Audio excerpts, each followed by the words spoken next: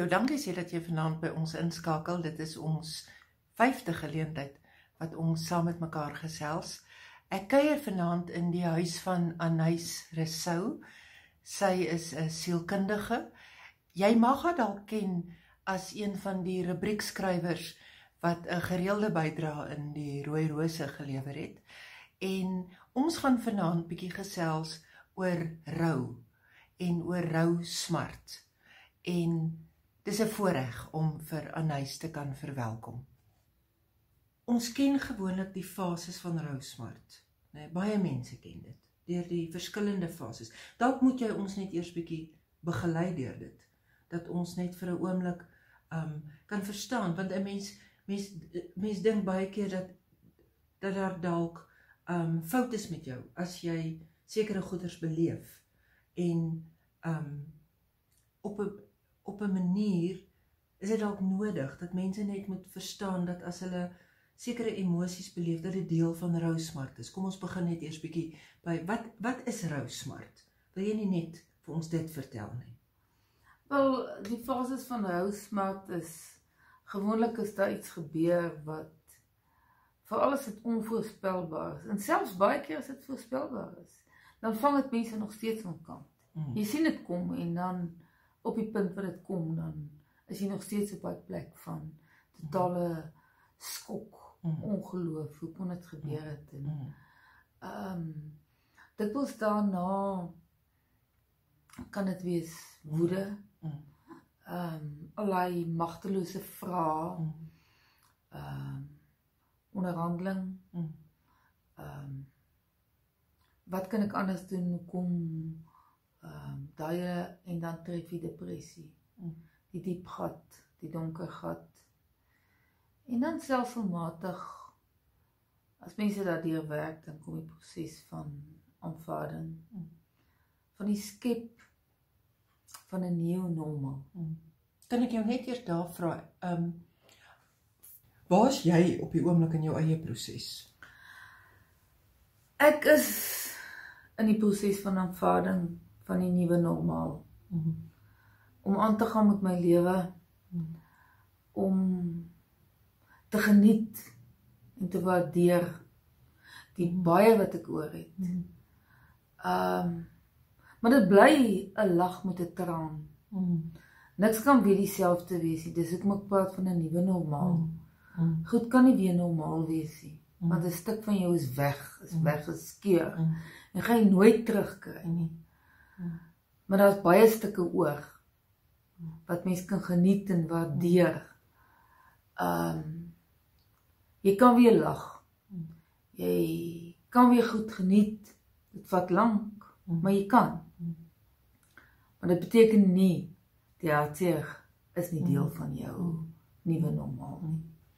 As iemand by jou in die spreekkamer inkom met hierdie waarskynlik kom hulle na jou toe omdat hulle 'n gevoel het van onvermoë. Hulle weet nie hoe om hierdie ding te hanteer nie. Wat is gewoonlik van die eerste goed wat jy vir mense sê? Letterlik die eerste iets wat ek gewoonlik vir mense sê as hulle na my toe kom is wat gebeur het is verskriklik. Ehm um, swaar, te seer. Maar sjoe, Dit is so verskriklik. Dit is so swaar. Mens mag nie dat dit nog groter word nie. En daarom is dit ongelooflik belangrik dat mens nie meer mag verloor as wat jy reeds verloor het nie. Want wat jy verloor is klaar te erg. Jy kan nie nog jou huwelik boop dit verloor as jy jou kind verloor het nie. Jy kan nie nog jou werk verloor, jou vriende verloor, jou gesondheid verloor hierdie ander goed moet mens 'n doelbewuste poging aanwend om definitief te behou en seker te maak want anders raak die swaar te veel. Mm. Ek dink nie ons is mense wat fiks is om te rou nie. Ons wil hê mense moet vinnig oor dit kom. Gewoonlik sal ons vinnig wil hê mense moet oor dit kom sodat ons net weer na kan aangaan met ons gewone lewens, né? dis nou mense wat hulle ondersteun wat deur moeilike tye gaan, né? Mm. Um ons is nie 'n samelewing wat praat oor rou en verlies en swaar kry nie. Ons is 'n samelewing wat fokus op sukses en hoe vinnig 'n mens herstel. Ons is nie mense wat leer wat mekaar leer hoe om te treur nie. Nee. Mm. Hoe treur 'n mens? Wat jy sê as jy sê ons is nie fiks om te treur nie. Ek dink ons is nie of vandag se mense baie is nie gemaklik met moeilike emosies nie. En dikwels is dit vir ander mense baie moeilik want hulle weet nie hoe om dit te hanteer nie. Ehm um, moet hulle met jou daaroor praat. As hulle met jou daaroor praat, sal hulle baie vinnig vir jou sê, uh ek wil jou nie ontstel nie. Iemand anders ontstel nie iemand wat in 'n rouproses is nie. Hulle laat hulle hoogstens uh connect met die hartseer en swaar wat klaar daar is. Iemand kan my nie laat huil nie. 'n Gesprek kan my dalk net met my eie emosie um in daai oomblik laat uh 'n koneksie maak. En daarom moet mense nie bang wees nie en dikwels maak dit die rouproses vir mense geweldig moeilik. Want in een huis sal mense nie met mekaar praat nie want hulle wil tog net nie hê die ander een moet huil nie. En dan's almal op hulle eie eiland swaar en dan deel hulle nie daai emosie nie. Dit is baie meer waardevol om daar te gaan en daaroor te praat want dan kan mense mekaar vashou en kan hulle saam wees en gedeelde smart is ligter as smart in jou eie hoekie. Aanhuis is nie almal wat wat nou hierna luister wat deur 'n rouproses gaan nie. Maar almal van ons op 'n manier ken iemand wat deur 'n rouproses gaan. So wat kan iemand doen wat aan die ander kant staan en iemand moet ondersteun wat deur so 'n proses gaan. Is daar iets wat mense kan doen? Daar's verseker goed wat mense kan doen. En daar's verseker goed wat mense nie moet doen nie. Ehm um, ek dink is belangrik ehm um, ja, dit is nogal vreemd as dit met jou gebeur dan is daar mense wat mens verwag jou sou ondersteun en hulle is net nou weer want hulle weet nie hoe om te hanteer. Dan sal jy die onverwagte engele wat net daar is en wat net verstaan. Dis dikwels mense wat reeds hierdie proses is. Wat belangrik is wat mense kan doen is om met sensitiwiteit daar vir jou te wees. Ehm um, baie keer beteken dit drukkie en net ek is by jou meer as 'n Bybelversie. En ehm um, mense kan baie onvanpaste goed sê. Soos die mooiste blom is gepluk. Ehm um, daar's geen manier om mens voel as jy iemand naby aan jou verloor dat die mooiste blom is gepluk nie. Selfs as mense vir jou sê dis God se wil dan is dit baie swaar. Want hoe kan sulke swaar kry? God se wil wees. Want dan is elke mens wat dood gaan of hulle vermoor is of wat ook al is God se plan. Wat mens nodig het om te hoor is ek sien God is hier saam met jou in hierdie proses. Ehm um, dis goed wat vir mense beteken popgodsdiens werk nie. Al hierdie duisende ehm um, Christelike boodskapies. Ek het iewers langs die pad vir iemand wat vir my letterlik gebombardeer het met hierdie soort boodskappe vanuit 'n baie goeie plek, vanuit 'n baie goeie hart. Iemand wat regtig uitgereik het na my en my wou ondersteun. En elke oggend 6 uur vir my 'n Bybelversie gestuur het. En toe ek eendag op 'n baie mooi manier vir haar probeer sê, hou asseblief op daar meer. Ek wil nie elke oggend wakker word en die eerste ding wat ek op my foon sien is 'n Bybelversie. Jy het dit nooit voorheen vir my gestuur nie. So my eerste gedagte elke oggend is my kind is. Ek wens ek kan net een oggend wakker word sonder dat dit my eerste gedagte is. So mense moet versigtig wees hoe mense dit benader. Miskien werk dit vir iemand. Vir my het dit nie gewerk nie. En ek dink 'n belangrike ding in hierdie hele ondersteuning is om te check wat werk en vir mense te vra wat het jy nodig vir my eie kinders het ek gesê wat gekla het maar my pelle is nie nou weer. Hulle vir my. Het ek gesê seun jy's die ekspert van jou hou proses jou pelle het nie 'n klou wat om te doen nie. Dink jy nodig om vir hulle te sê ag vat my net uit vir 'n bier. Ek wil net 'n stukkie normaliteit belewe. En dan as daar geleentheid is en jy wil praat, dan kan jy praat. So dit gaan oor om vir mense wat in die rouproses met sensitiwiteit 'n ruimte te skep. 'n Ruimte waar jy hulle kan lees en hulle kan sê wat het ek nodig. Vra hulle. Hulle sal besmoontlik vir jou sê wat het ek nodig. En of dit nie oukei okay is om nou oor te praat oor hulle swaar kry of dit is of hulle het hulle werk verloor of iemand verloor nie wil hulle net vir 'n oomblik vir 'n oomblik ontglip en aangaan iets lekker belewe of hulle juis nodig om oor te praat. En dit verskil van mens tot mens of jy ekstrovert is of jy introvert is mense rou verskillend. Anais ek wil weet of daar sekere goeders is wat jy kan doen wat dit vir jou makliker maak en ek gebruik 'n woord dalk verkeerd maar wat jy dalk ook kan doen wat jy moet vermy om dit nie vir jouself moeiliker te maak nie. Donel ja, ek het na ons kind se dood het ek vir my man gesê ek het nog min mense gesien wat kinders verloor het wat nie amper oornag oud geword het nie. En dit kan ons nie keer nie.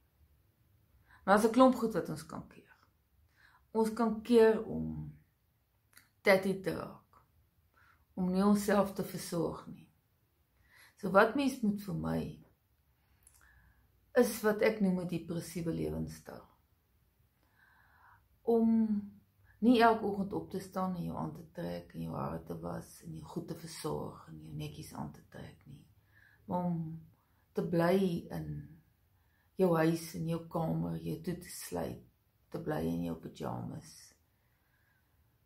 Mens moet nie regtig aandag gee aan die basics. Die eerste ding is in daarmee moet mense ook mense in hierdie proses help. Help hulle, maak seker dat hulle goed slaap, goed eet. daarmee kan mense altyd mense help. Dat hulle uitkom, dat hulle oefen. Dat hulle goed doen al is jy nie lus daarvoor wat lekker ervaring is. Kuier saam met mense gaan stap.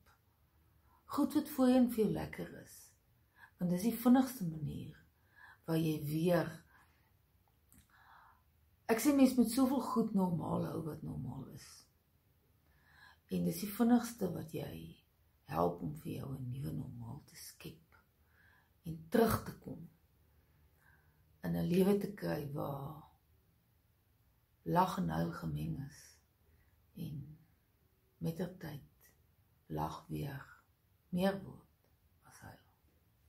Jy bly praat van 'n nuwe normaal en dis 'n woord wat ons in hierdie afgelope tyd baie gehoor het met die inperkingstyd, veral ook dit wat na die inperkingstyd gebeur, die frustrasies wat mense ervaar. Ehm um, wat Wat dink jy wat gebeur met mense en wat is hulle ervaring en watter raad gee jy vir mense wie se lewens ontwrig is deur die koronavirus en dit wat op die oomblik in die land gebeur? Ronel, die grendeltyd is ook vir baie mense groot verlieservarings. Ek dink aan skoolkinders wat ewe skielik baie drome verloor het. matriek afskeid. Ek gaan vir die eerste span speel. Ek gaan doen mense wat hulle werk verloor het. Mense wat op baie maniere hulle sin verloor het want vir baie mense gaan 'n groot deel van hulle werk en wat hulle doen oor hulle interaksie met mense.